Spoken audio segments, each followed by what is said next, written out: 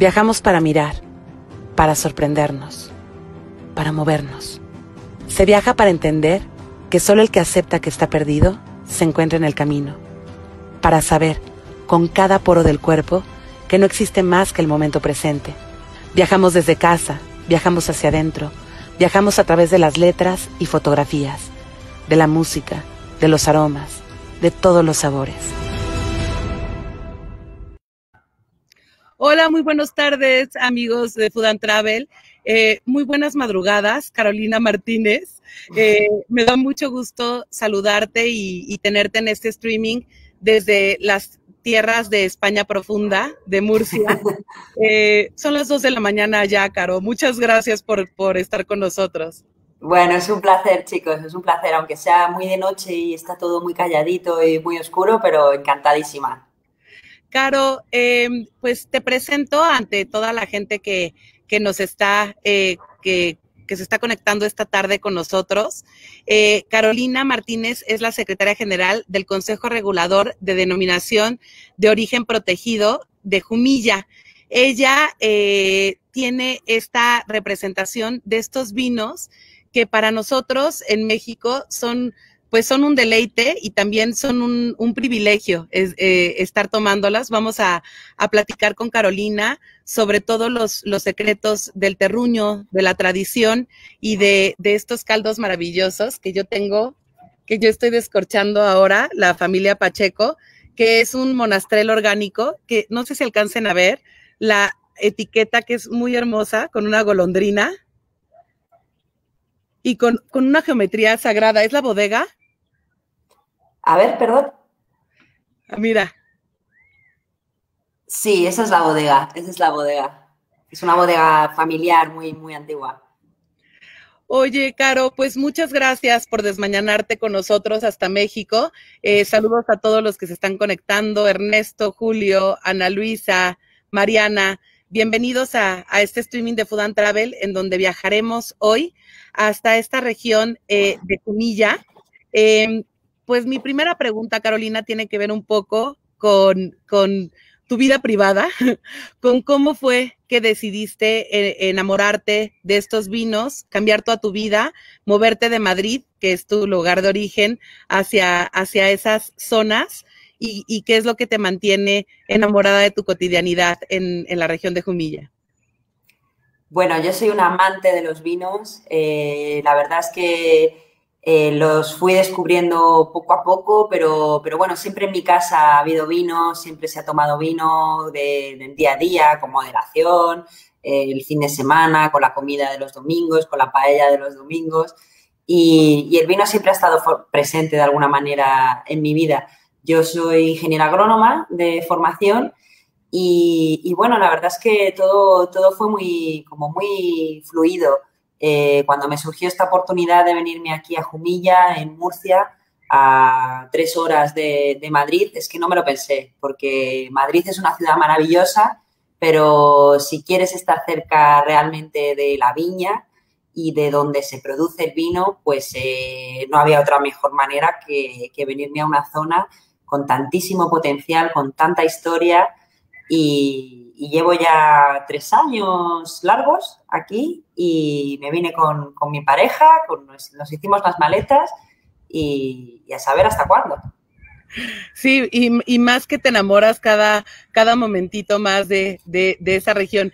Carolina es ingeniera agrónoma por, eh, por, la Universidad Politécnica de Madrid, como nos contaba, y es experta en figuras de calidad europeas y es gerente de la denominación eh, de origen protegida de Jumilla desde septiembre del 2017.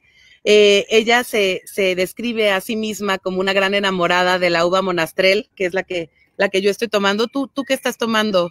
Yo también estoy tomando una monastrel orgánica de, de, este, de esta última añada, de 2020. Qué rico. Pues estamos brindando desde México hasta Murcia. Y bueno, eh, para localizarnos un poquito y, entrar como, como en materia, ¿cómo nos puedes hacer viajar hacia la región en la que estás? Geográficamente están localizados al norte de Murcia, eh, justamente en la provincia de Albacete, ¿qué es lo que podemos encontrar eh, ahí? ¿Cómo, cómo, es, ¿Cómo es la vida? ¿Cómo, cómo es la tradición de los vinos en, esta región? Bueno, nos encontramos, como bien dices, justo ahí en una frontera eh, entre dos regiones eh, históricas aquí en España, que son Murcia y Albacete. Estamos como a unas tres horas y pico de, Madrid hacia el Mediterráneo. Entonces nos encontramos como a 100 kilómetros más o menos de la costa del Mediterráneo. Y, entonces esta ubicación geográfica es, es, lo que hace también especial a nuestra zona estamos justamente en esa frontera que te digo entre, entre ese Mediterráneo suave, eh, con unas temperaturas más templadas, próximas a la costa, y La Mancha, la, meseta manchega, famosa ¿no? por, Don Quijote, esa llanura muy alta de altitud, pero sobre todo muy llana, muy llana, muy llana, que se extiende eh, miles de kilómetros y, estamos en esa, justamente en esa, en esa frontera que marca esa diferencia entre la Mancha y, la costa mediterránea. Eh, y bueno, eso hace que tengamos un clima muy particular, unos suelos muy particulares. Estamos además rodeados de, montañas, no son montañas gigantes, eh, no son los Andes, eh, no son los Pirineos, pero bueno, son montañas que al final van formando un paisaje único y un microclima que, bueno, es lo que al final hace que, nuestros vinos, nuestras uvas sean, sean únicas. Así es, vamos a ir descubriendo a lo largo de esta plática cuáles son las características eh, de, las tierras, cuál es el saber hacer de las familias que durante años han, hecho vinos eh, arraigados a una tradición que de hecho, eh, pues estuve, estuve leyendo toda esta semana sobre Jumilla y que tienen registros de, la creación del vino y del saber hacer del vino desde miles, miles de años atrás.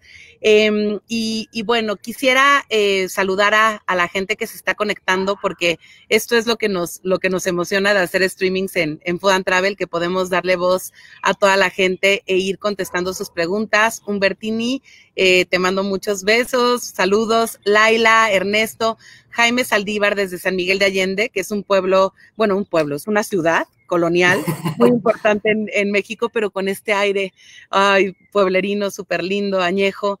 Eh, saludos hasta allá, hasta Oaxaca. Eh, saludos a todos los que se están conectando. Y em, mira, ya te están empezando a, dar preguntas que quisiera un poco contextualizar antes de darle la, palabra a Ana Belén.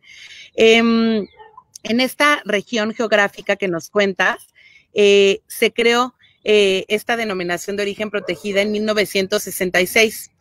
Eh, ¿Cuáles son las historias de tradición y las características principales que tiene que tener un vino para formar parte de la denominación eh, de origen protegida? Bueno, para ponernos un poco en, contexto, ¿no? Para, para imagino que, todos tendrán una idea de lo que, es una denominación de origen, ¿no? Allá en México también, tenéis denominaciones de origen, le conozco bien la del tequila, y al final eh, todo va relacionado a un origen, ¿no? A un lugar concreto que tiene unas características, pues, eh, de clima, agronómicas, eh, culturales y humanas concretas, ¿no? Y entonces, en nuestro caso, de Jumilla, para poder formar parte de esta denominación de origen, lo primero es el lugar. Te tiene las viñas y las bodegas tienen que estar ubicadas en nuestro territorio, en el territorio que está demarcado por, son, somos siete, pueblos, siete municipios los que forman parte de, esta denominación de origen algunos más grandes, otros más pequeños. Jumilla, por ejemplo, que, da nombre a la denominación, es un municipio muy, muy grande, es el décimo más grande de, en extensión de su territorio de, España. Entonces, lo primero es esa ubicación. Estamos, eh, el viñedo está en Jumilla, eh, la bodega se encuentra en Jumilla y luego eh, ya son unas características que realmente tampoco, tampoco son muy complicadas. Las uvas tienen que ser cierto tipo de variedades. aquí en esta zona, pues por ejemplo, nuestra uva reina es la monastrell, pero también tenemos otras variedades autorizadas y, no podemos tener una Pinot Noir, por ejemplo, ¿no? De, Borgoña, porque es que para empezar el clima, no, no pobre Pinot Noir, aquí no, no se daría nunca. Eh, entonces, bueno, esas variedades y luego eh, ciertos tipos de vino. En nuestra denominación podemos elaborar vinos tintos, vinos blancos, vinos rosados y vinos dulces, vinos de licor y vinos naturalmente dulces. Eh, luego, todo eso hay que cumplir una serie de, de, normativa europea y española sobre la elaboración de vino. Y, em, y bueno, estar sujeto a un control eh, muy riguroso, a un control de calidad, a un control de calidad, de trazabilidad, para poder garantizar pues, al consumidor que, se cumplen efectivamente estas características de origen, eh, de uva y de tipo de vino y que luego en una botella, cuando compráis una botella de, jumilla, a ver, lo veo por aquí, esta, esta tirilla que vemos aquí es al final la, tirilla de... Esa, esta, yo, yo, estoy estrenando un, diseño nuevo, es decir, eh, es, lo que garantiza que, esta botella ha pasado esos controles y que cumplen pues, con, la, con nuestra normativa, que es una normativa pues básicamente de origen y de calidad. ¿Hay alguna eh, prohibición en el, en el proceso de hacer el vino que no se permite dentro de la denominación de origen? Mm, bueno, cualquier prohibición realmente que, venga ya de la normativa eh, general. aparte de, como he dicho, eh, pues aquí, por ejemplo, no va a ser un vino con denominación de origen, un vino espumoso, por ejemplo, o, una, como he dicho, un ejemplo así un poco loco, una Pinot Noir, ¿no? O, o una Riesling. Eh, esas no son uvas que se den aquí, eh, a lo mejor un viticultor osado podría plantarlas, pero por ahora, que yo sepa, no, no las vamos a, permitir en esta zona. Estamos hablando al final de, variedades que son autóctonas, que están adaptadas, que son sostenibles y, y esas son las que, las que utilizan nuestras bodegas y las que cultivan los viticultores. ¿Cuáles son las uvas que sí podemos encontrar dentro de, que son varias? O sea, sé, sé que, que la que estamos catando esta tarde, que es la monastrel, es la, es la uva eh, más característica o, o, la que viene como embajadora de, de la región, pero ¿qué, ¿qué, otras uvas? Porque, porque son bastantes las que, las que tienen dentro de la denominación de origen. Sí, tenemos, eh, tenemos uvas tintas uvas blancas, lógicamente. Las uvas tintas, pues como has dicho, la monastrel es la, embajadora, la, uva que se, la que se ha plantado aquí siempre, la que siempre se ha dado muy bien, la mejor adaptada a nuestro clima. Em, pero también tenemos otras uvas muy interesantes como la garnacha, la garnacha tintorera, eh, tempranillo em, y luego pues eh, la sirá, que aunque sea una variedad de origen francés, eh, desde que se autorizó aquí, la verdad que está dando unos resultados buenísimos y, os recomiendo que probéis alguna sira jumillana porque es sorprendentemente rica. Eh, luego en blancas también tenemos, bueno, la, tradicional que siempre se ha dado en esta zona y que es muy próxima a La Mancha, que es la Irene, y otra que es más mediterránea, como la Moscatel, por ejemplo. Em, y luego tenemos otras como Macabeo, como Malvasía, eh, Verdejo, que es una variedad que, realmente es más castellana, pero que también han estado experimentando por aquí. Y, también tiene unos matices muy particulares de, nuestra tierra. Y, bueno, al final son, son 16 uvas, tipos de uvas en general, en total, que, bueno, cada una aporta sus matices y, bien sean solas o ensambladas. Eh, la verdad es que, se han adaptado muy bien las que son de fuera y las que son de aquí de toda la vida, pues bueno, qué decir. Cada, cada bodega también le imprime a la personalidad de las uvas su propia, su propia personalidad, eh, en las familias que llevan años eh, dedicándose al vino, dedicándose a la tierra, a la agricultura, también van eh, imprimiéndole a cada caldo eh, este, esta tradición familiar, este saber hacer. ¿Cuál es la cotidianidad que se, que se puede vivir eh, en las bodegas? Que, tú, tú como, como, como una mamá de los pollitos, porque, estás como abrazando a, todas las bodegas. Que, ¿cuántas, ¿Cuántas bodegas son, Carolina? Somos 39 bodegas. 39 bodegas. Eh, así es que em, tú que tienes tanta interacción con las 39 bodegas, hay veces que cuando estamos eh, de lleno en una bodega nos perdemos de lo que están haciendo los demás, pero tú que tienes como, como la oportunidad de ver eh, y de conocer de cerca a las familias, eh, de conocer de cerca las, las diferentes etiquetas, ¿cuáles son como, como las características que tú que tú, que, estás más encariñada con, con, la región y, si pudieras ver algunas diferencias de otras denominaciones de origen con, con Jumilla. Bueno, aquí una, al final, todo está relacionado con la viña, ¿no? Eh, la bodega es eh, donde se elabora el vino, pero bueno, el vino no deja de ser el zumo fermentado de, la uva. Y, y, aquí todo, todo gira en torno a un cuidado y a un esmero en el viñedo que, nada es igual, ¿no? Si, es lo que hace realmente única esta zona. Nuestras viñas son mimadas por, los viticultores. Eh, estamos en una región que tiene un clima muy particular, eh, semiárido, que fundamentalmente depende del agua de lluvia. Aquí el riego es testimonial.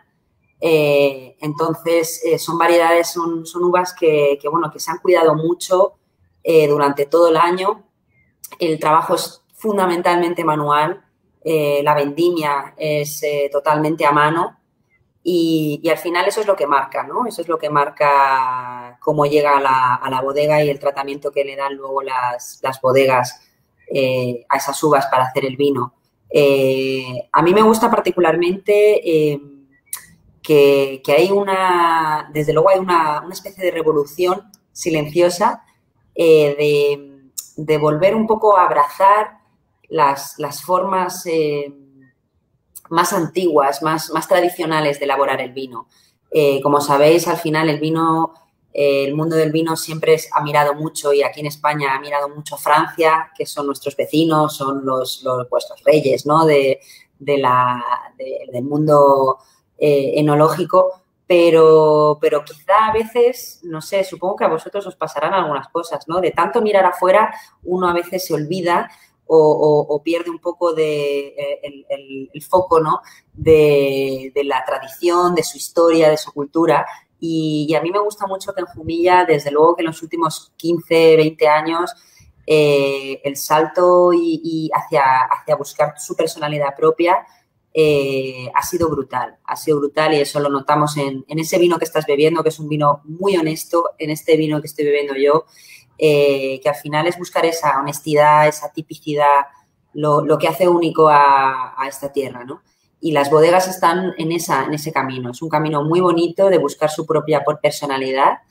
Cada elaborador, eh, pues bueno, tiene sus, sus gustos, pero, pero siempre buscando eh, que se note que es Jumilla, que se note que es nuestra tierra. Exacto. Eh, cuando, cuando empezamos esta plática, hablaste de esta transición eh, que desde aquí se oye muy poética y estoy segura que cuando podamos volver a viajar y recorrer esos lugares de, de no turismo, que siempre en, en Travel hemos dicho que, que cuando vamos a, una bodega y conocemos a la gente y estamos sintiendo el clima, cómo, cómo, cómo anochece frío y cómo, cómo eh, toda la, neblina va cubriendo las, las viñas en las mañanas, eh, toda, toda esta parte como, como que implica el viaje y que implica conocer un lugar, acaba enamorándote para siempre y te acaba volviendo un embajador, ¿no? De, de, la, de la marca y de, y de las bodegas que ahí hay. Eh, esta, esta transición que, que se da entre la llanura que nos estuviste platicando y las suaves tierras mediterráneas de Levante, ¿qué es lo que le aportan al vino, a tu parecer, como, como de una de una amante del vino, no, no, tal vez no de, de una profesionista de, de, de, todas estas figuras de, garantía de calidad, ¿cuáles son las, las eh, características que tú ves que, que enamoran del vino de Jumilla? Pues es una, es una dulzura y una finura que no es azúcar, ¿eh? Es, cuando digo dulzura no me refiero a azúcar, a golosina, sino a una suavidad, a unos taninos que, realmente son, muy envolventes, son muy sedosos, eh, no te da la sensación de, estamos hablando de, vinos que, bueno, tienen un grado alcohólico interesante, al final esto es, una región semiárida, cálida, no, no, estamos en Alemania o en el norte de España, o, y, pero sin embargo ese alcohol es, es, es todo envuelto en una dulzura y en una finura que, creo que, nos distingue mucho de, nuestros vecinos del oeste o nuestros vecinos de, más de la costa, eh, que hace que, tenga, que haya un equilibrio en nuestros vinos eh, muy, muy lindo, ¿no? De una acidez justa, eh, redondeada por ese dulzor, pero que, como digo, no es azúcar, es, es una suavidad y una sedosidad que, bueno, que te invita a, beber otro sorbo y, y, otro y otro y siempre acompañado de una comida rica, claro que además, eso te iba a decir, que, que obviamente son vinos gastronómicos, pero también son vinos, yo llevo toda la tarde haciendo mi tarea. Muy bien. que me cuesta mucho trabajo. Y, y, son vinos también que, que, pueden acompañarse de una buena plática. Son vinos eh, en, en realidad no, no simples, pero sí muy, muy, muy fáciles, como, como muy, muy amigables para también que se trate toda la, tarde del vino sin, sin, necesidad de que sean gastronómicos, aunque ahorita ya nos echaremos el clavado a la gastronomía para que, para que se nos antoje también los maridajes. Eh, te quiero preguntar antes de, de, de ya darle voz a la gente que, vengo prometiéndolo desde hace 20 minutos. Eh, las condiciones climáticas eh, del terruño, eh, leía que, había fluctuaciones de, menos 10 grados en época de frío hasta 40 grados en, época de, calor, de calorón. Em, este sufrimiento que, que, le gusta tanto a la, uva, ¿en dónde lo ves reflejado tú en cada sorbo? Em, a ver, yo creo que, también es por las, al final es también la, uva, ¿no? La variedad, las variedades que, y el manejo que se le da a esas uvas. Por ejemplo, em, como digo, aquí no se riega prácticamente, es testimonial.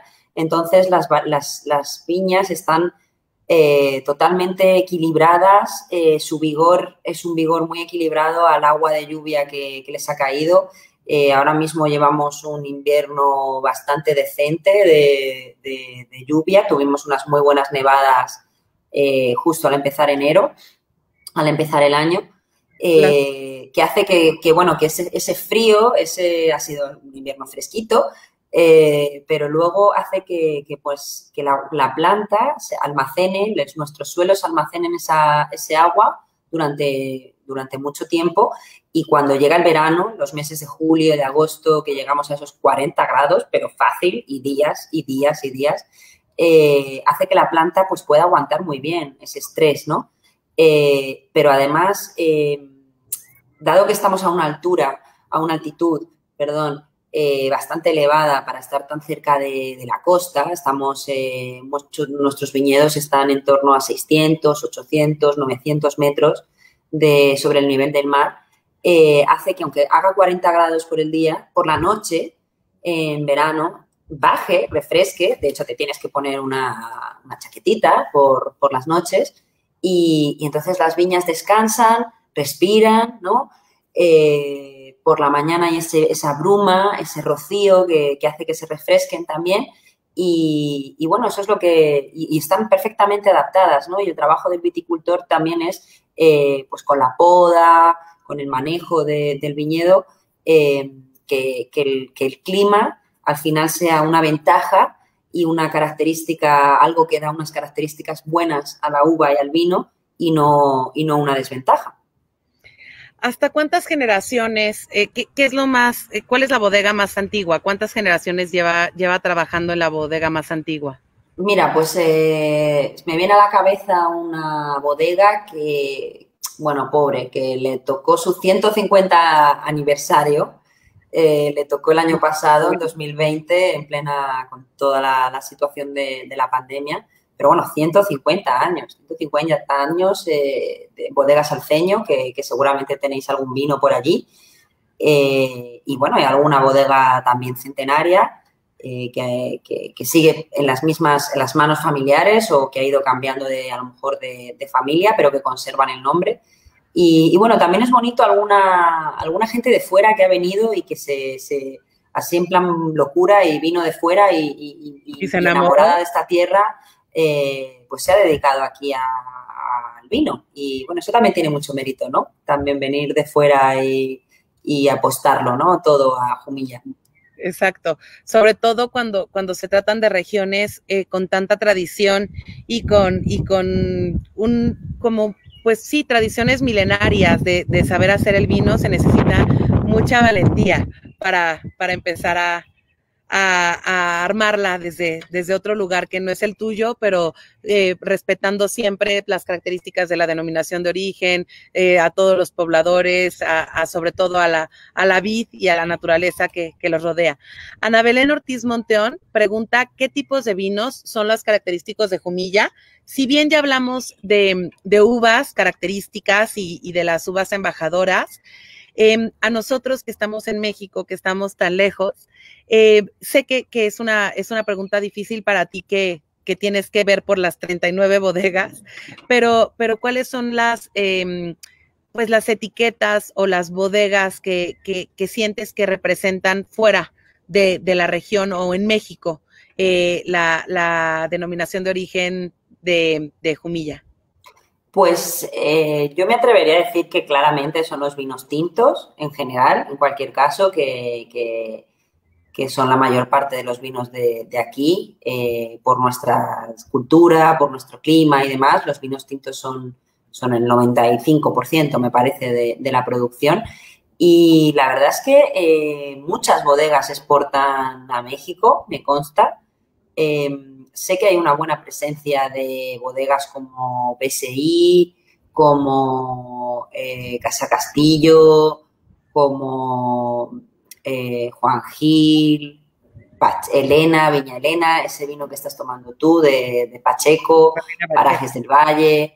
Eh, hay una buena representación, yo creo, de, de Jumillas en México. Es un país que al final es un país hermano para, para nosotros y, así como a lo mejor en otros países de América, eh, bueno, la presencia no es tan importante, eh, precisamente en Norteamérica, luego ya subiendo a Estados Unidos y en Canadá, eh, Jumilla tiene una presencia importante y muchas bodegas están apostando. Si no hubiera sido por esta situación de, pandemia, el año pasado habríamos estado allí con, unas, con una muy buena muestra de, de vinos de Jumilla en Guadalajara en la feria de, de alimentaria y bueno, me consta que, están muy interesadas las bodegas en, bueno, este tipo de acciones como la de hoy, pues por lo menos, aunque yo estoy hablando en nombre de todas, eh, pero para ellos es muy importante porque al final es eh, que se oiga, ¿no? Que se oiga el nombre Jumilla y, la gente lo, la gente pues lo, lo pida, ¿no? En los, en los restaurantes, en las tiendas. Em, tengo, hoy tengo un montón de, preguntas que me han estado naciendo eh, durante estos días que he estado tan relacionada eh, con, los vinos de Jumilla a nivel mucho más consciente, ¿no? De, lo que de lo que venía acostumbrada a hacerlo. Eh, veo que, que el familia Pacheco que me mandaste es un orgánico, es un es un vino orgánico y tengo otro que es el Parajes del Valle, que es ecológico y que te quería preguntar la diferencia entre un vino natural, un vino ecológico y un vino eh, orgánico? Eh, bueno, para nosotros orgánico y ecológico son sinónimos. Significa, realmente significa lo mismo. Es verdad que en España utilizamos más la palabra ecológico y, orgánico quizás un poquito más eh, utilizada en el extranjero. sé que en, que en América se utiliza mucho, en inglés, organic. Eh, pero en España realmente la palabra que utilizamos normalmente es ecológico, pero es lo mismo, ¿eh? significa exactamente lo mismo. ¿Qué características eh, tiene el vino ecológico? al final es la viña, es el tratamiento que, hay en la viña y, bueno, me alegro que lo, que lo comentes porque la verdad es que estamos hablando de la zona de España probablemente con mayor viñedo ecológico de España, incluso de prácticamente Europa. Y, esto es gracias al clima, al clima y al suelo que tenemos. Eh, Como he dicho, aquí eh, no se riega apenas, eh, todo depende del agua de lluvia. Es una zona semiárida, llueve muy poquito, muy, muy poquito. Siempre hay un, un, viento que limpia muy bien el viñedo y que lo mantiene aireado. Y entonces esto hace que, claro, que no hay, un, hay una ausencia prácticamente total de, plagas y, y, de enfermedades, por lo que la verdad es que nuestros viticultores, pues, pues ahora mismo trabajan como han trabajado siempre, sin necesidad de utilizar productos químicos eh, de síntesis en la viña. Y, bueno, aquí pues eh, prácticamente 90% del viñedo es, eh, está certificado como ecológico u orgánico. El 90% es un montón. Y, y, claro, las bodegas pues no han desaprovechado esa, bueno, al final esa, ese valor, ¿no? Esa ventaja que tienes respecto a otras zonas, ahora que, por suerte eh, pues los consumidores estamos más concienciados y valoramos más eh, los productos orgánicos ecológicos, ¿no? Por ser pues, más sostenibles, más, eh, más amigables con el medio ambiente, ¿no? No estamos echando productos a, nuestra, a la naturaleza, ¿no? Y, y entonces, la verdad es que estamos en una zona que es puntera en el cultivo ecológico y, es muy fácil que cualquier vino que encuentres de Jumilla sea ecológico. Es, lo habitual. Y la verdad es que eh, estamos muy mal acostumbrados a, ay, bueno, creo que aplaudimos mucho cuando se trata de un vino ecológico o de un vino eh, biodinámico, que ahorita hablamos también de las diferencias, porque eh, pues nosotros eh, no estamos tan acostumbrados a, o sea, estamos acostumbrados a volver a las raíces, ¿no? a, a, a a reinterpretar la manera que tenemos de hacer eh, eh, los vinos, porque sí son vinos del nuevo mundo y estamos aprendiendo de ustedes y seguimos aprendiendo de ustedes, pero para, para ustedes no es regresar a las raíces, sino quedarse eh, en la manera en la, que, en la que siempre lo habían hecho. Así es que es muy, es muy normal para, para ustedes en la denominación de origen protegida de Jumilla encontrar estos nombres de natural y estos nombres de, de ecológico, cuando para nosotros sí representan eh, pues un vino totalmente distinto, ¿no? Yo cuando, cuando descorché este vino sí me esperaba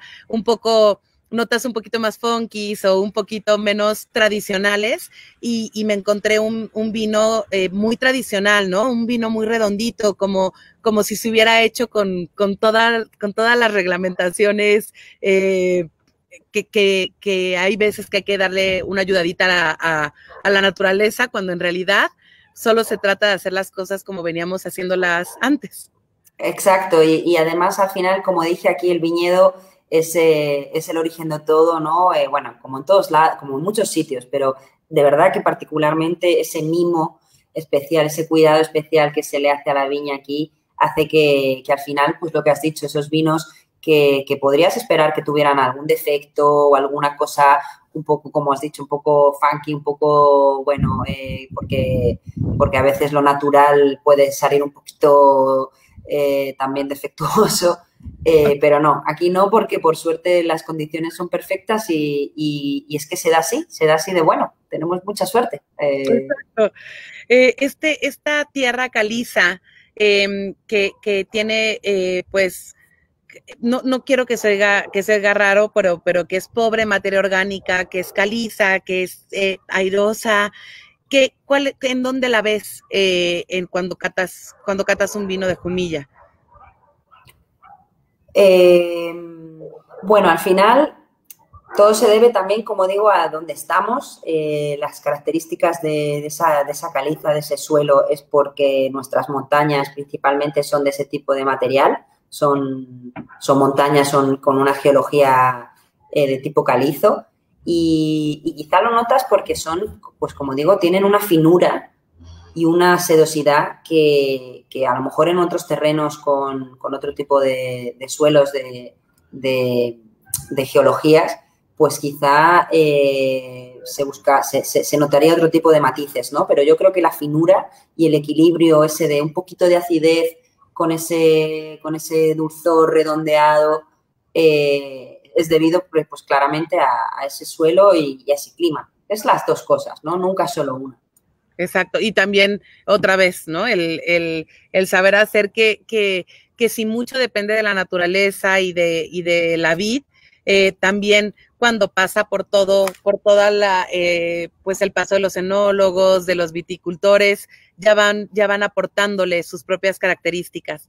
Em, eh, pregunta Raúl Cyrols, em, es que lo preguntó hace un ratito y ya lo, ya lo perdí. Espérame, ¿dónde conseguimos los vinos de Jumilla en México? Esa, era, esa fue la pregunta que hizo, eh, pero, pero sí quisiera que nos dieras como, como un mapa eh, eh, en México. Sé que, que, podemos encontrar los vinos de Jumilla en las diferentes pues, tiendas especializadas en vinos, pero ¿hay alguna, alguna pues sí, distribuidora que sientes que están representando bien eh, los vinos de Jumilla y que están como dando eh, de qué hablar en México de los vinos de Jumilla? Pues la verdad es que ahí me pillas un poco, ¿eh? porque yo esa labor comercial no, la tengo tan desarrollada. Ese es un trabajo muy, muy, de la, muy concreto ya de, las bodegas. Y, y, sí que me consta que al final cada bodega pues tiene su, un poco su red comercial propia, ¿no? Y, sinceramente, la verdad que ojalá te pudiera dar una, lista, ojalá, pero en estos momentos la damos, Raúl. Nosotros le hacemos, te hacemos una investigación, pero, pero es, es mucho más fácil de lo que pensamos conseguir eh, estos vinos en México porque tienen eh, pues mucho movimiento. Raúl también está diciendo que acaba de probar un Juan Gil 2018 en Houston y que está mm. buenísimo. Eh, Elsa Navarrete preguntó cuáles son las uvas insignias o autóctonas, que ya lo contestamos hace ratito. Eh, y eh, Elsa también pregunta, ¿cómo definirías la esencia o el estilo de esta denominación de origen? Que, es un poco eh, ahondar, pero, pero sí creo que estamos muy acostumbrados a pensar que una denominación de origen viene con una personalidad definida, ¿no? como, como, como muy clara cuando empezamos a clavarnos más, entendemos que cada etiqueta, cada añada, cada botella que descorchamos va teniendo su, su, su, propio, su propia voz, pero, pero sí, sí que abraza la denominación de origen ciertas características. ¿Cómo las podrías definir? Yo las dividiría un poco en, depende del, del, vino, pero ya no por, por marca o por bodega, sino si estamos hablando, por ejemplo, como de un vino como el que estamos tomando tú y yo, que es un vino, son, aunque son marcas diferentes, eh, son vinos jóvenes, eh, en el sentido que, bueno, que son de añadas, creo que la tuya pues igual es un 19, la mía es un 20. 2018 em, la mía. 2018, pues eh, estamos hablando así, de, vinos jóvenes y sobre todo que no han pasado por, por, barricas de roble, de, madera, ¿no? Entonces tienes ese, ese tipo de vinos de, Jumilla, que son esencialmente vinos eh, muy amigables, que te invitan a beber, eh, como dices, platicando de conversación, sin necesidad de estar tomando un plato de comida muy elaborado. Eh, son vinos que tienen una, mucha fruta en, la nariz, pero una fruta pues muy mediterránea, ¿no? No una fruta, no son frutos de, del bosque, de yo qué sé, de, la bruja. Eso no existe aquí. Aquí es plantas mediterráneas, eh, tenemos eh, romero, tenemos tomillos. Eh, y luego tenemos los vinos un poquito ya más serios, ¿no? Que son los vinos ya, pues como a lo mejor el Juan Gil que, que ha comentado el amigo hace un momentito. Em, que son vinos que quizá pues ya con, una crianza en, barricas de roble o, en tinas de roble, que también se utiliza mucho aquí, que son em, como fudres, ¿no? De 5.000, 6.000 litros y que, bueno, que hacen que sean vinos también como para, tomar con más detenimiento, eh, que te llenan más la boca, que, te invitan a, tomar un, un, bocado con ellos. Entonces yo digamos que lo dividiría más en, ese tipo de, en esos dos tipos. Vinos mm, jóvenes, más frescos, más eh, de disfrutar en el momento y, vinos un poquito ya más, eh, más serios, más, eh, con un poco más de cuerpo, más estructura, pero siempre los dos tipos son vinos muy equilibrados, con ese justito punto de acidez que compensa muy bien el alcohol, el dulzor. Em, Carolina, eh, siempre que nosotros tenemos pretexto para ir a un lugar, eh, usamos el viaje para conocer nuevos vinos o conocer eh, nuevos eh, sabores, platillos. Eh, en esta plática que estamos teniendo, el vino es nuestro pretexto para, para, ir a recorrer un lugar y conocer un lugar que tal vez no está en la mente del turista o del viajero mexicano en, cuanto, en cuanto a un viaje enoturístico. ¿Cómo sería un itinerario eh, en, en, la región eh, de, de, Jumilla. ¿Qué es lo que hay que ver? Eh, ¿Cuántos días tú crees que podemos estar eh, descubriendo esta región? ¿Cuántas bodegas al día? ¿Qué es lo que nos podemos esperar si hacemos, eh, si, tomamos la decisión de ir hacia tu terruño a vivir un viaje enoturístico?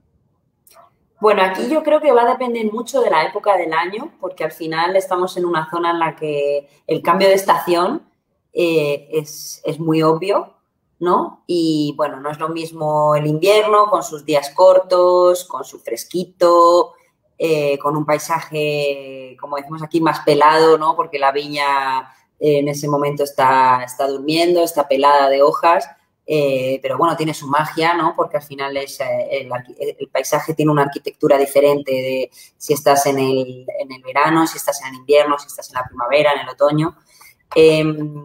Yo recomiendo cualquier etapa, eh, cualquier época, porque lo bueno es que esto tampoco es Laponia, o sea, aunque vengas en invierno, bueno, con un abrigo está bien, porque además aquí siempre tenemos mucha suerte y siempre hay un sol radiante.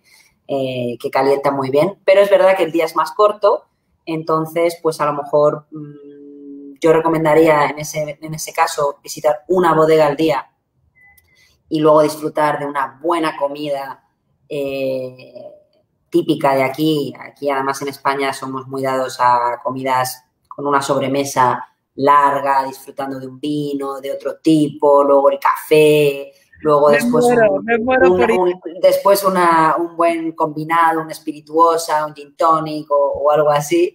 Y luego un buen paseo.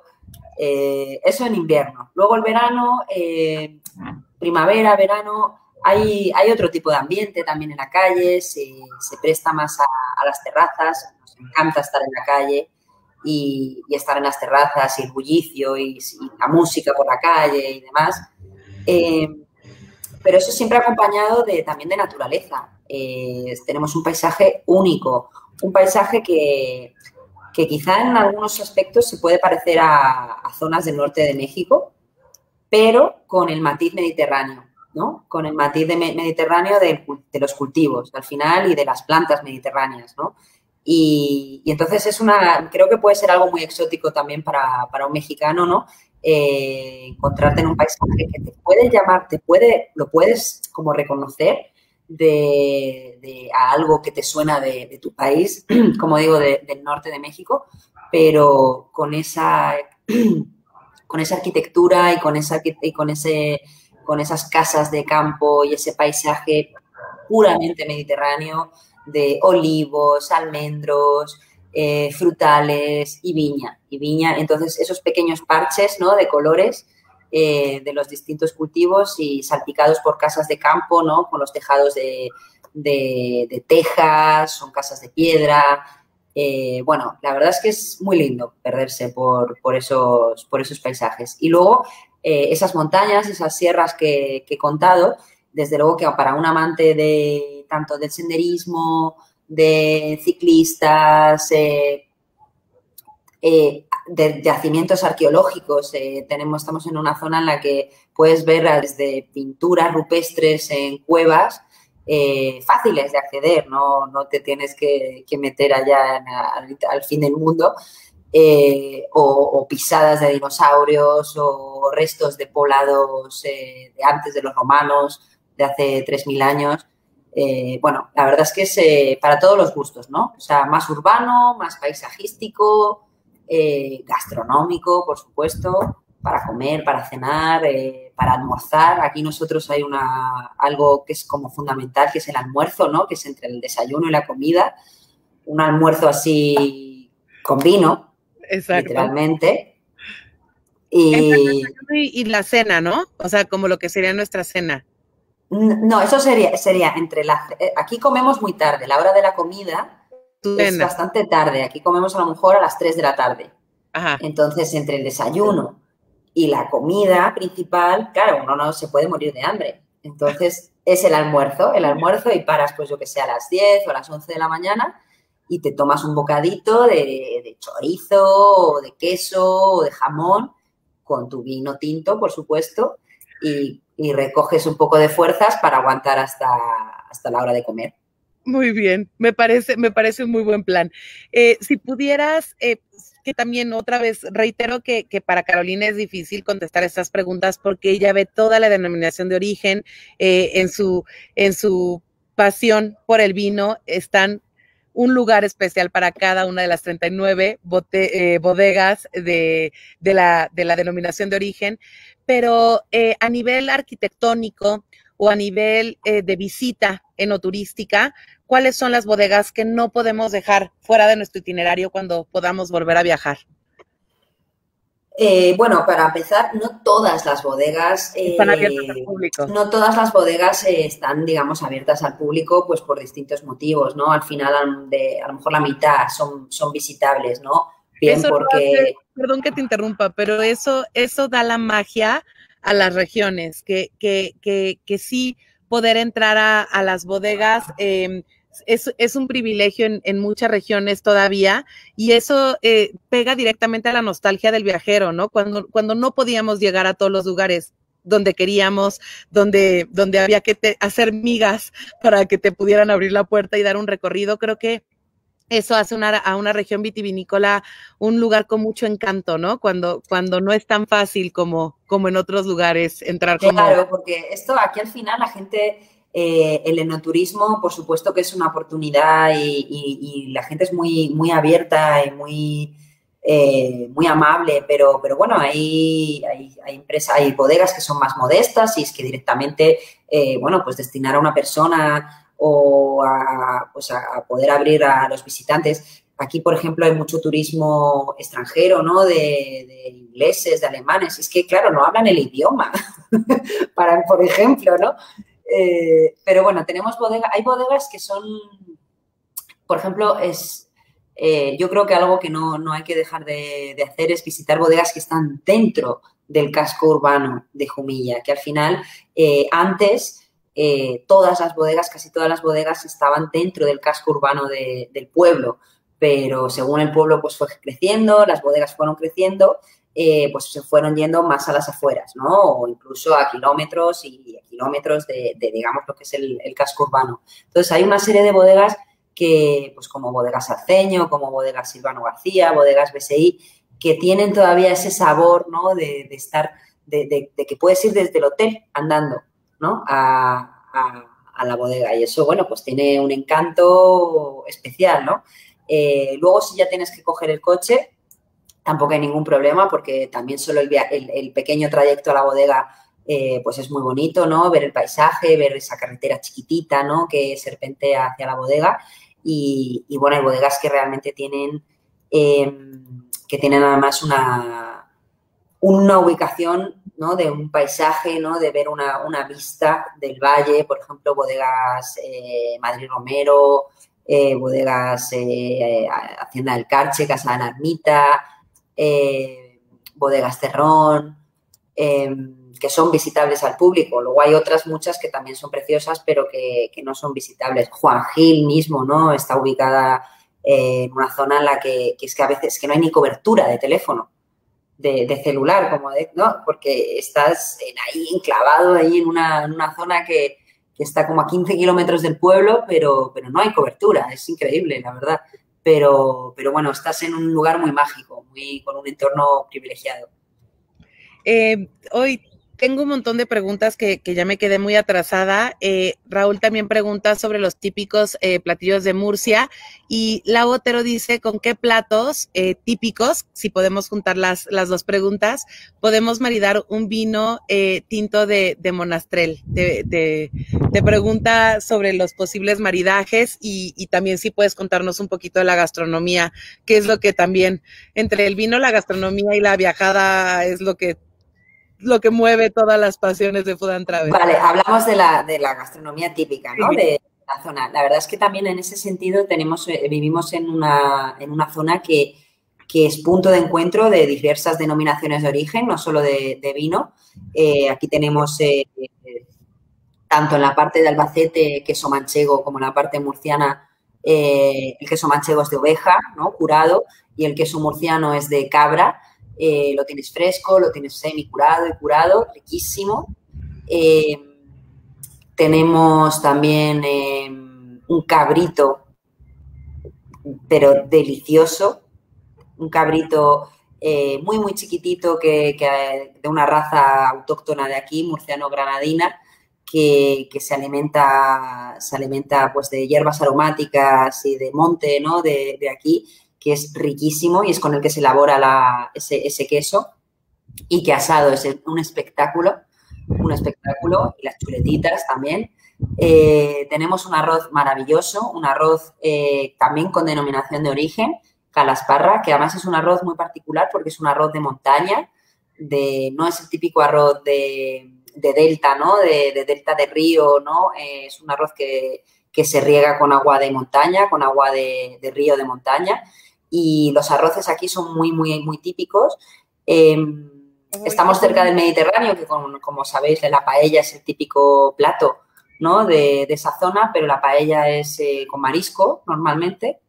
Y entonces aquí la versión, digamos, del interior es eh, un arroz de tipo seco, ¿no? En una, paella muy, muy bajito de, granos de arroz, a lo mejor tiene este espesor eh, la paella y, entonces es, pues, por ejemplo, con, con conejo y caracoles, es el, arroz más típico de aquí, que está delicioso. Al que sea un poco aprensivo de los caracoles o del conejo, de verdad que lo tiene que probar y con una copa de monastrel, o sea, es yo creo que el maridaje perfecto, eh, con un sabor a, tomillo, a romero, a, monte que, enamora. Em, y, bueno, Luego. Si ya se me estaba haciendo agua a la boca solamente. Yo también, y es muy tarde, pero podría comer ahora mismo. Tenemos un montón de pretextos eh, para, no solamente para, para descorchar eh, esta, este, esta tradición eh, vinícola de Jumilla, sino también para, para pensar en, en ir a estas regiones que no están tan exploradas para los mexicanos eh, en, turismo enológico. Eh, toda la gente que, hace turismo enológico sabe eh, pues la magia que, lleva consigo conocer a la gente de las bodegas, estar en, pues en la naturaleza, que ven hacer esa uva que, que da estos caldos que, que nos gustan tanto, pero, pero creo que si lo unes a todos estos privilegios que tiene este terruño de Jumilla que, que, que, viene desde la, desde la gastronomía que nos estabas comentando ahora hasta la arqueología, que también te, te quería preguntar sobre estos vestigios arqueológicos que están relacionados con el vino, que, que, que pone en el mapa a Jumilla como una de las regiones más antiguas eh, donde, donde se empezó a elaborar vinos en, en Europa. Sí, efectivamente. Hay, hay estudios que confirman que hay como en Europa que hay como dos grandes zonas eh, donde se originó el cultivo de la viña y, el vino. Eh, una es en el este, ya casi Asia, ¿no? Eh, Georgia, Armenia, ¿no? Más arriba de Turquía. Y otra es la zona del Levante de España. Y curioso, pues, pues más o menos, pues donde nos encontramos. Eh, como he dicho, aquí estamos en una zona con una de frontera, ¿no? De frontera natural entre distintos paisajes y entonces aquí eh, han pasado pues muchísimas culturas y civilizaciones diferentes y aquí se han encontrado pues desde pepitas de uva de 3.000 años antes de Cristo, o sea, más de 5.000 años de historia, pepitas de uva en, unos yacimientos que confirman que ya se cultivaban viñas, ¿3.000? O sea, 3.000 antes de Cristo, o sea, total, 5.000 años. 21 años. No puedo, no puedo asegurar que el vino fuera como este que estamos bebiendo, porque eso es un poco loco, hacer ese salto, pero, pero bueno, que cultivaban viña y que, y que elaboraban algún tipo de, fermento con, ese, con, esas, con esas uvas, está claro. Y, luego, pues desde los fenicios, romanos, eh, pasando luego por, pues, por, los, eh, por los musulmanes, hasta después lo ya eh, las distintas civilizaciones. Aquí se han elaborado, se ha elaborado vino siempre. Hay, tenemos un museo arqueológico precioso con, muestras de, estos, de estos hallazgos. Y, bueno, algunos de hecho son, son emblema de, nuestra denominación de origen, como unos pequeños aretes, como parecidos a los que llevo yo, pero como con unas eh, uvitas, justo un racimo de uvas justo al final, que se encontraron en una, en una tumba de un soldado, de un caballero íbero, de un hombre, que ya eran unos modernos y llevaban pendientes, ellos también, eh, y, de oro, o sea, un espectáculo. Y esos son de, como de 500 años de, antigüedad. Exacto, porque buen gusto. Oh, sí, muy coquetos. Aquí, aquí eran muy coquetos. Eh, sí, sí, siempre lo fueron, sí también, también los aztecas y los mayas siempre tenían, eh, usaban pendientes, usaban un montón de cosas porque les gustaba el joyado, ¿verdad? exacto. Em, te pregunta Ana Belén Ortiz Monteón. Ay, que me quedan cinco minutos de entrevista, se me fue rapidísimo. Quiero catar contigo el, el, vino, pero te quiero dejar dormir porque son las tres de la mañana en Murcia. Eh, que ni se nota, ¿eh? Ni se te nota de, ¿ves, ves cómo el vino nos, nos mantiene felices y... Da energía, da vida. Exacto. Eh, Ana Belén pregunta, em, ¿qué crees que le ha faltado a la región de Jumilla para destacar como una zona vinícola a la par de Ribera del Duero? Eh, Castilla y León, Zamora o Valladolid. Que te quiero también em, preguntar, eh, bueno, contextualizar esta pregunta. Ana Belén es, es, es, un, es muy filosa eh, y me encanta, me encanta, me encanta como poderle dar, dar voz a, toda la gente con, con lo que pregunta, sobre todo porque creo que te tengo que explicar que en México este boom del vino que vivimos, em, sobre todo el enoturismo, o sea, nosotros siempre habíamos eh, tomado vino de Europa, ¿no? Para nosotros, nosotros no crecimos con esto en generaciones eh, anteriores. Tuvimos que, que, aprender, que estudiar, que descorchar un montón de botellas para irnos relacionando con, con, el vino y con la cultura del vino. Nosotros, como bien sabes, tenemos otro tipo, bueno, ahorita ya, ya tenemos una, una cultura vitivinícola que de hecho te estaban preguntando mucho sobre tu, tu, tu, opinión, que ahorita te la pregunto de, de, los vinos mexicanos, pero también nos llegan eh, aquellas eh, bodegas o aquellas regiones que tienen muchos proyectos eh, pues de marketing, ¿no? En donde, en donde tenemos estas ideas de ir a recorrer eh, bodegas abiertas al público, con terrazas, o sea, estamos, estamos de verdad como muy acostumbrados a Hoy voy a decirlo y no quiero que suene horrible, quiero que pase rápido esto, pero estamos muy acostumbrados a un tipo de Disneylandia vitivinícola también, ¿no? Por eso, por eso me emocionó tanto lo que me decías de que no en todas las bodegas puedes pasar porque, pues porque la gente también está trabajando ahí, no solamente es eh, abierto al público. Pero eh, respondiendo a la pregunta de, de Ana Belén que quería contextualizar, ¿cuál es eh, para ti las, las, la fuerza o la energía que falta para, poner a Jumilla en, la mente de la gente fuera de España? Que, tomemos decisiones de viaje y también que, esté en nuestra mente para tomar decisión de voy a comprar un vino de la denominación eh, de origen de, Jumilla. Bueno, en primer lugar, la verdad es que yo felicitar a, los colegas, porque al final son colegas, y los conozco a muchos de, de, de esa zona de Ribera del Duero, porque son unos másters de, la promoción, del marketing y tienen mucho mérito. Al final eh, hay que saber llegar a la gente y comunicar y que te conozcan.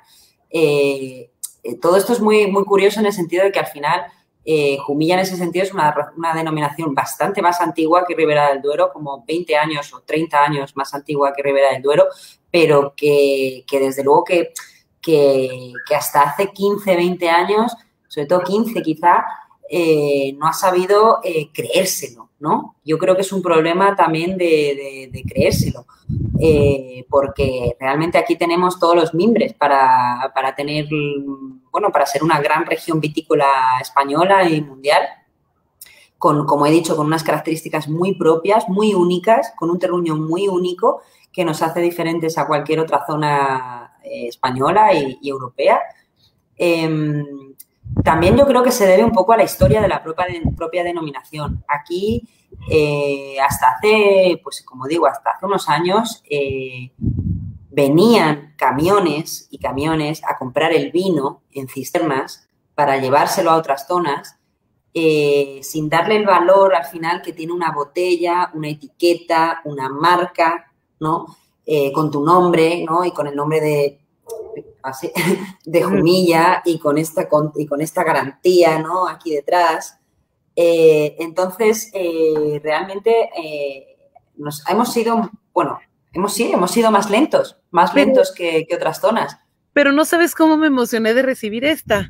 O sea, que, también tiene, tiene, me siento especial, ¿no? Descorchando, descorchando una, una botella que, que tiene escrito a mano eh, la, la, eh, pues, pues la etiqueta, ¿no? Y que, y que tiene todo, todo el, tema aquí, eh, todo lo que necesitas saber del vino y que sabemos que estamos en una denominación de origen que es garantía de calidad y de, y de, de que todo lo por donde pasó el vino estuvo bien hecho y estuvo pues regulado, pero, pero pues sí te da esta, esta sensación de estar ante un, ante, ante una etiqueta especial, ante una botella especial que, que, se hizo pues con amorcito, con tiempo, como y, con, y, con, mucha modestia, mucha modestia. Es, eh, yo creo que es una característica de esta tierra.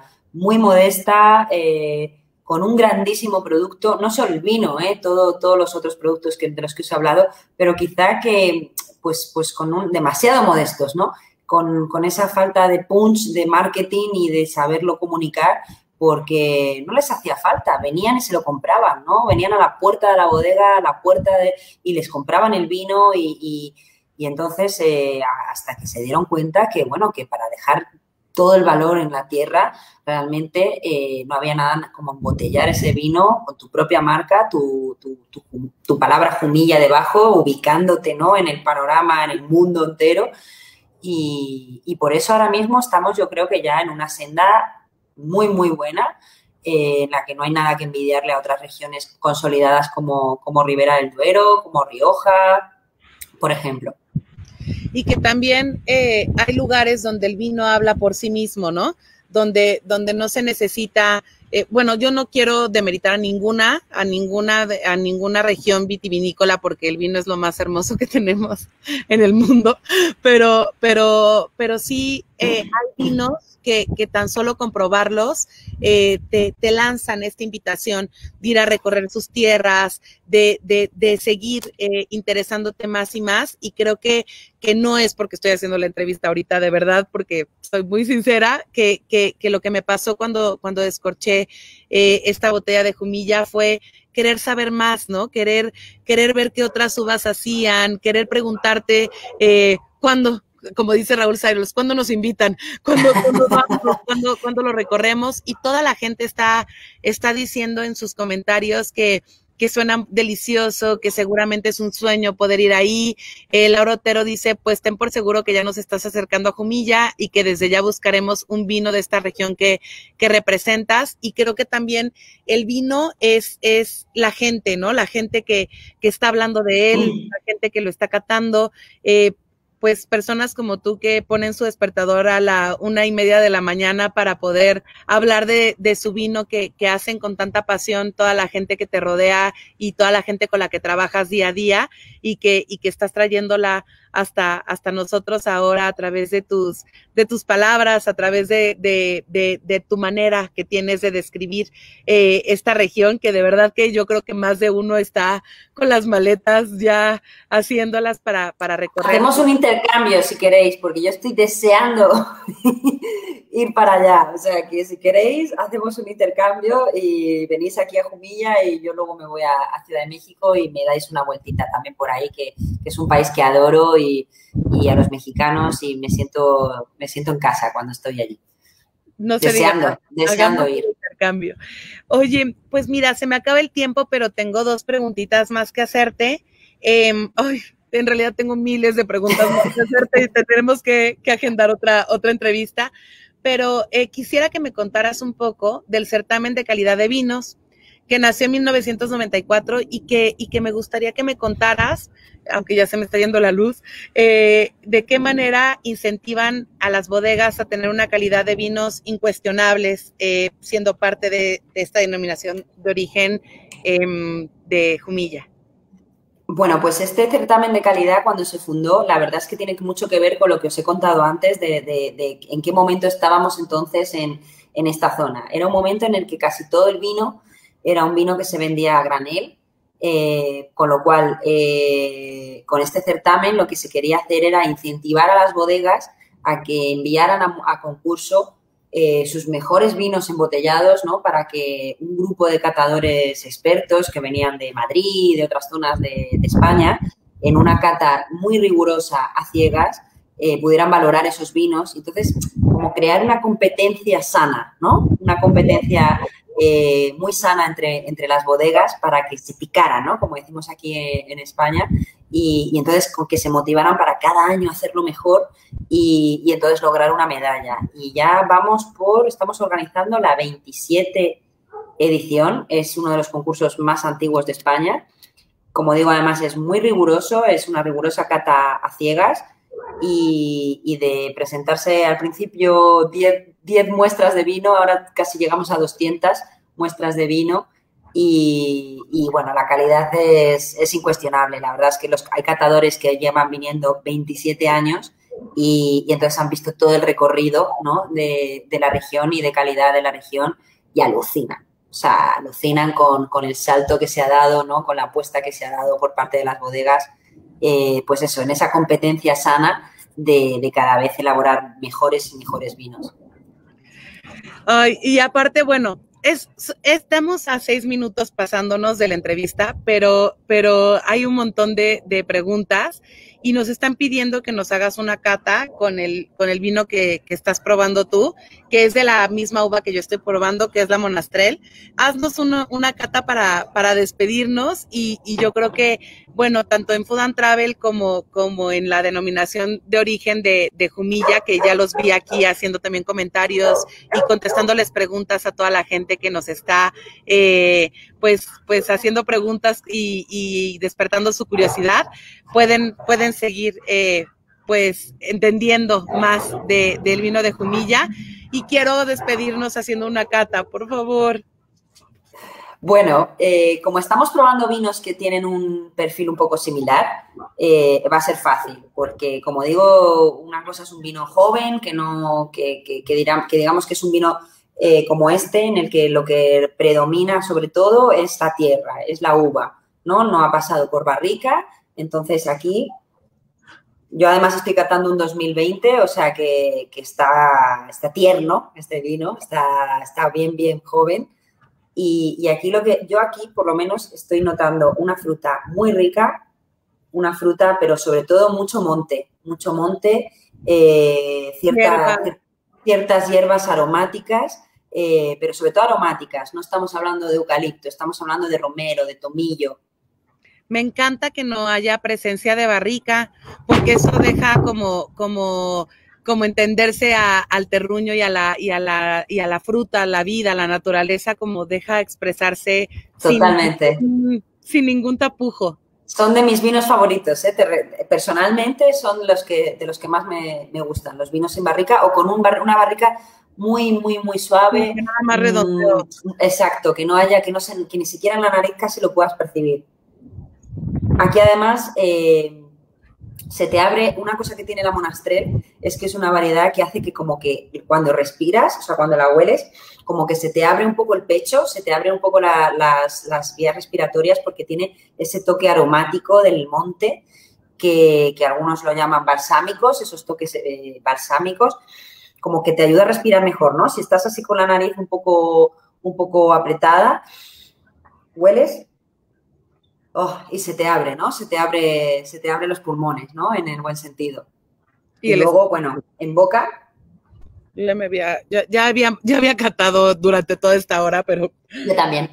En boca, eh, yo creo que, es, que, volvemos a lo que os dije antes, tiene ese, esa ese dulzor, pero que no es un dulzor de, azúcar, porque son vinos secos que, que, para nada son, son, son azucarados, pero que es muy suave, que es muy, muy delicado y al em, mismo tiempo un tanino bien poderoso, como un carácter que dice aquí. Que te llena la boca, ¿verdad? Con estructura. Y una acidez media, una acidez muy equilibrada. Muy... si no son vinos ácidos, no estamos en una zona eh, de norte, de, como a lo mejor en el norte de España o, en, Alemania o en el norte de Francia, eh, estamos cerca del Mediterráneo, pero tenemos esa puntita de frescura que da la acidez, eh, que es muy importante, ¿no? Para que esté muy equilibrado en la boca muy envolvente, muy seductor, muy sedoso. Está bien rico, ya me volví. Salud, chicos. Salud. Muchas gracias. Gracias por, por desvelarte con nosotros y, hacernos enamorarnos más eh, de, esta de esta región, de esta denominación de origen y de, y de pues todo lo que, lo que hay que ver eh, por Jumilla.